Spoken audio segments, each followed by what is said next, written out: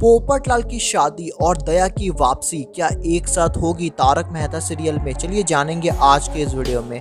दोस्तों, जानने से पहले आप सभी से बस एक ही रिक्वेस्ट है कि इस वीडियो को एक लाइक ज़रूर से कर देना।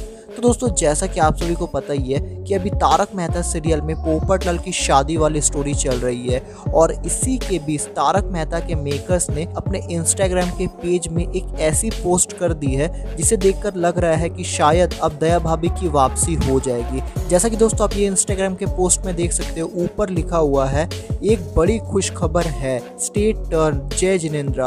और नीचे कैप्शन ध्यान से देखिए, लिखा हुआ है, कल होगा खुशियों का डबल डोज हँसते रहिए और कल का इंतज़ार करते रहिए। तो दोस्तों, कल क्या खुशियों का डबल डोज होने वाला है? क्या आपको पता है? ये तो हमें भी नहीं पता है। हो सकता है दया भाभी की एंट्री हो जाए और साथ ही साथ यहाँ पर पोपट लाल की शादी हो जाए। बाकी आपको क्या लगता है, क्या खुशियों का डबल डोज होने वाला है? अपनी राय कमेंट बॉक्स में ज़रूर बताकर जाना और ऐसे ही अमेजिंग एंड इन्फॉर्मेटिव वीडियोस के लिए हमारे इस चैनल को प्लीज़ सब्सक्राइब करके बेल आइकन को प्रेस करना बिल्कुल भी न भूले। तो मिलते हैं अगले वीडियो में दोस्तों।